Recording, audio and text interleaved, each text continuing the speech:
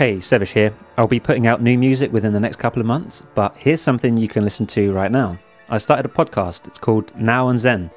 If you're getting into microtonal music, hopefully you're going to find it interesting and hopefully you'll learn something new about the weird world of tuning theory. The hosts of Now and Xen are composer performer Stephen Weigel and myself, and whatever guests we happen to have on each episode.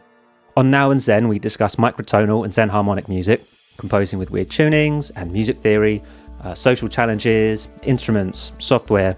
Basically, we talk about anything and everything related to microtonal music, and it's such a good topic for a podcast because every musician who uses microtonal tunings has their own unique approach. You can find Now and Xen on iTunes, Stitcher, and Spotify, and good old fashioned RSS feed as well. I've provided links in the description so you can get listening immediately or sooner. We're still a very new podcast and have just started growing, we appreciate you listening into our show, and especially if you can leave us some feedback so we can make this thing even better. You can reach the creators of Now and Xen on social networks, or if YouTube is more your kind of thing, uh, just leave a comment below. Tell me what you think of the show. I'll try to respond to every single comment over the next few weeks. So that's pretty much everything I wanted to say about the podcast Now and Xen. I'll leave you with a clip from our most recent episode featuring Elaine Walker. Well, when I was really little, taking piano lessons, or it could have been pre piano lessons, I remember asking mom at the piano, Hey, mom, what about the notes in between? What are these all the notes? Why are there just these notes? And then she said ah. something about, oh, well, the history of it, or the, you know, she's a mathematician. So I think she said, well, it started with like Pythagoras coming up with right. intervals and then we just eventually adapted it. So by mozart's time we pretty much adapted this like major minor thing. And that was good enough right. for me all the way up until college. And it was towards the end of my undergrad and dr boulanger from Berklee college of music was my main professor. And to this day i owe a lot of like the direction of my life to his mentorship so in his in his composition electronic music composition class we walked in one day and he had the dat machine set up and he said i'm going to play a composition in the Bohlen Pierce scale and then he proceeded to oh. sing along which no one was expecting oh. him to oh. sing so a lot of the class was kind of just shocked by oh he's singing and so they're like and but it was so beautiful I was freaking out. Like all my hair stood on end. I got the chills. I'm like, what is happening to my brain right now? He was singing in the Bohlen Pierce scale just completely out of the blue. Like, there's notes from outer space. What is happening? And so after that, I'm like, Dr. B, I'm never going to write in the 12 tone scale again. Like, what is this? So he knew. oh, so cool. when I That's taught great. electronic music for 10 years, there was a rare student, you know, maybe once a year, there would be one student that would be interested in it. And I'd kind of latch onto that student and show him the hexagon keyboard and try to get him into it. So I was that student for him. Yeah. So he got me, he said, Well, hmm. well, young lady, you might want to start with 19 notes per octave instead of the Bohlen Pierce scale. so he had me, got me set up. That's good. See, that's what we needed to know last week when we did what are the best beginner scales. So 19 apparently yeah. worked for you, right? Yeah, um, I said that one because it has a diatonic scale like 12.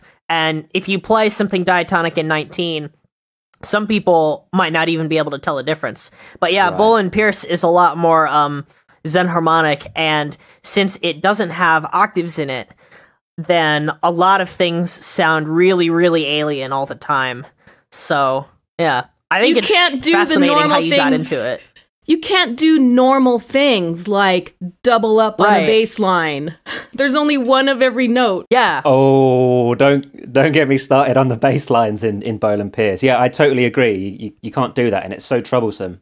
But most people don't care. So I've asked the community here and there, like, so, you know, what do we do about that issue? I just assume we're not supposed to, because you know, sometimes on the synthesizer the um the sound will be transposed down an octave and another sound will be transposed up an octave and like oh right, well right. You're not allowed so we got to get the bass right, the yeah. same t- octave as a high bell sound and then just use whatever notes are available at that point. Well, whenever I mention stuff yeah. like this, most microtonalists say, "Oh, are you kidding me? Just do whatever. No one's going to care. Just you can cheat." yeah. So I have in in my drum and space album, I think it's Greater Good. It's one of the Bohlen Pierce ones. There's one cheater note. And I still feel guilty about it. The Uh, you shouldn't. Don't feel guilty about that. I do that on every single Bohlen Pierce track. I just um, this it's because the everything else makes sense. Yeah. Everything else makes sense except for the bass and the sub bass. I feel like the octave is so important there, really, to get that solid sound. And you, you can't have you can't have something like a Right. tritave down below the bass because then it's like really Well, you have to have notes. The speakers can't tritive reproduce. sub bass. So- Now you guys are making me say tritave.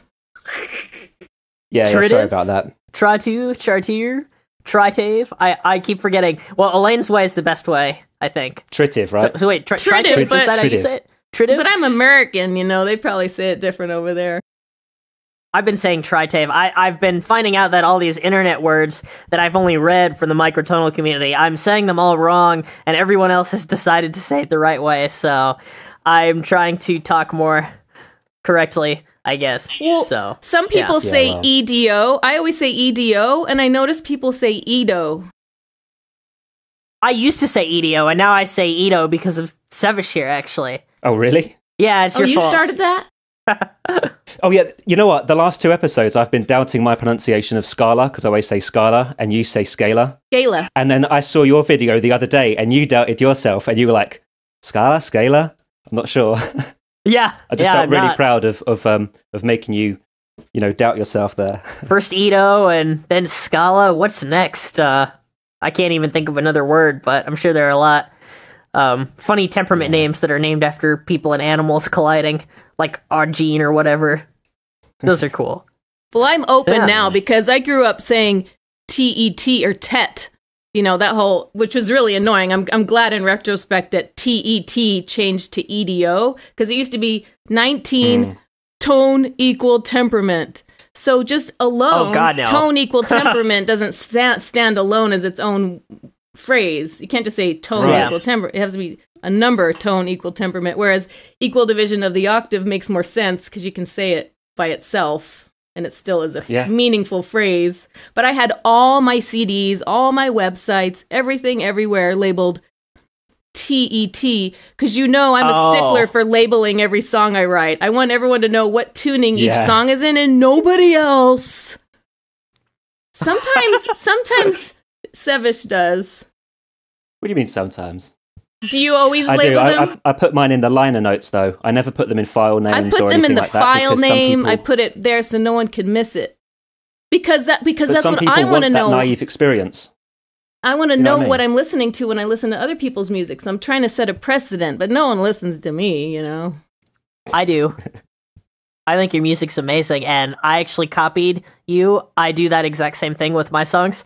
I also put my tunings in parentheses, although uh, this is an interesting issue, actually, whether microtonalists should say that they are, you know, using their tunings, but maybe we're a little bit biased, us three, since we all put our tunings in. I know a few microtonalists, or at least I think a few microtonalists, are pretty passionate about not putting the tunings in so people won't be biased in any way.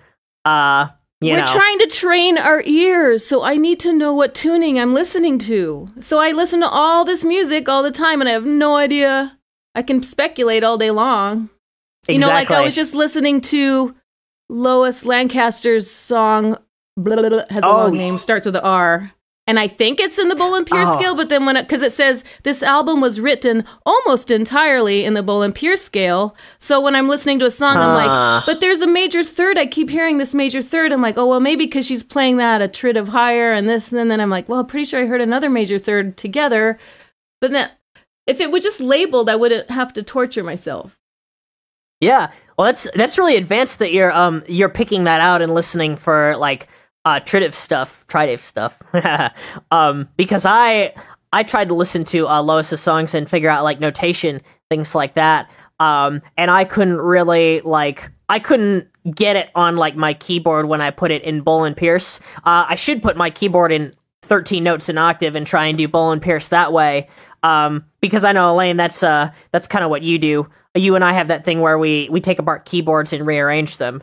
So, um, I mean, how did you how did you originally figure out uh, how to rearrange your keyboards? You've got quite a few, right? Because you've got you have keyboards that are dedicated to be in certain equal tunings, and mine, uh, well, the one that I have changes tunings, uh, sort of depending on the performance or what's going on. So, uh, how many keyboards do you have, and what are their names, and when did you make them? I'm I'm showing my keyboards in this Skype video. Well, there's some. Oh, so I probably beautiful. have like Cool. 12 or 15 keyboards and some of them are uh, not put together you know so computer nerds will have key, uh, computer guts everywhere i'm like that with keyboards so in this That's one particular rather large closet here there's a lot of keyboard guts everywhere keyboards with missing teeth and then all my verticals that i actually use are just sitting right here so i got a, a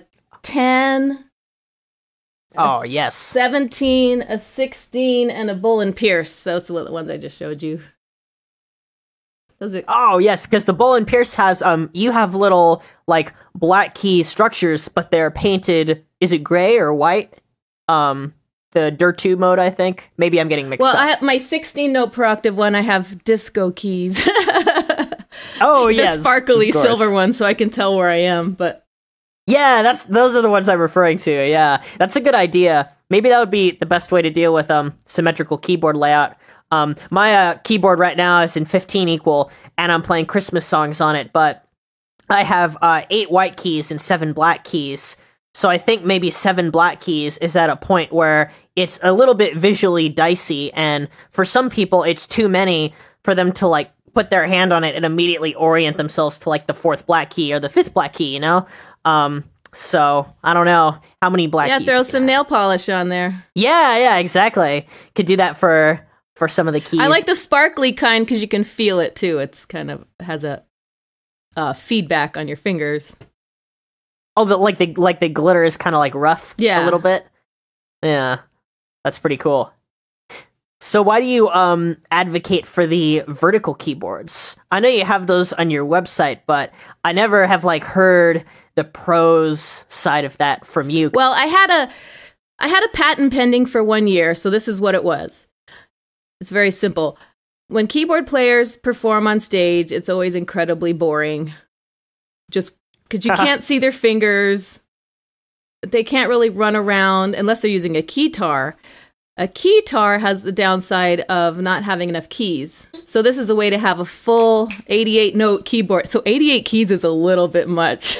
you can barely reach, but you know, you can have a full keyboard and the audience can see it. Okay. And then the other upside is that even though you have to play your left hand backwards, so you're holding the keyboard straight up like a cello for those that can't that don't know what we're talking about.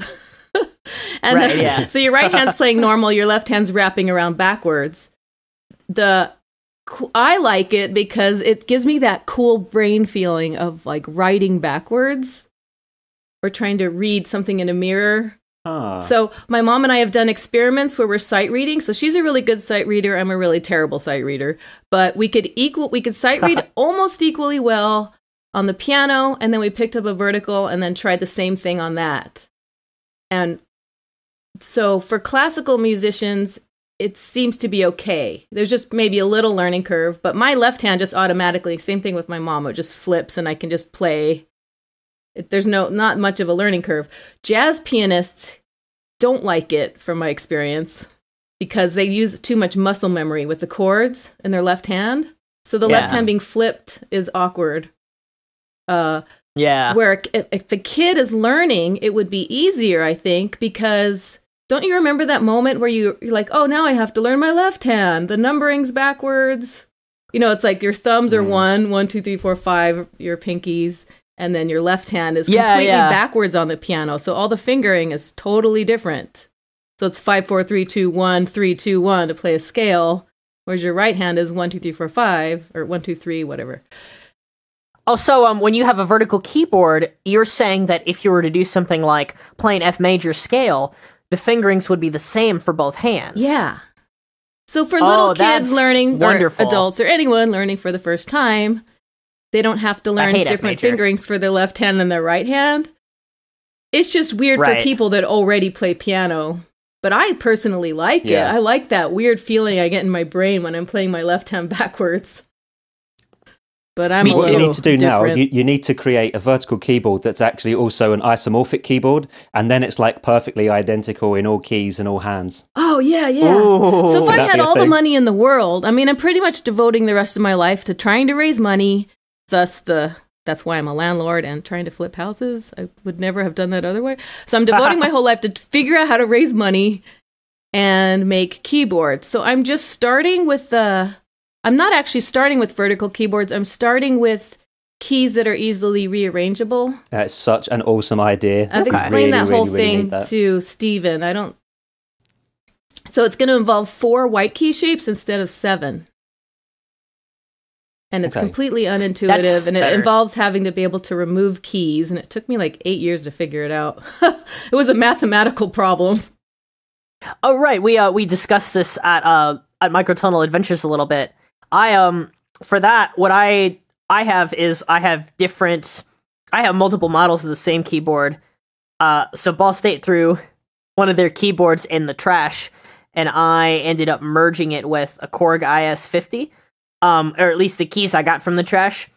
So since they were both Korg, uh, they were about the same. It's like Keenan Pepper's little YouTube video where he takes the springs out of the back of the keys, um, Right. and does that. And all I had to do was shave off uh, a little plastic nub from the bottom of the Korg keys while they were in the trash, so that they would like match with the IS50 keys. And then since the colors were a little bit different, I painted all the keys pink because otherwise the Korg IS50 keys were a little yellower, so it kind of looked like in the early days it like to looked like a mixture of like you know regular teeth and like dead old yellow teeth. it was like two different mouths combined. I've had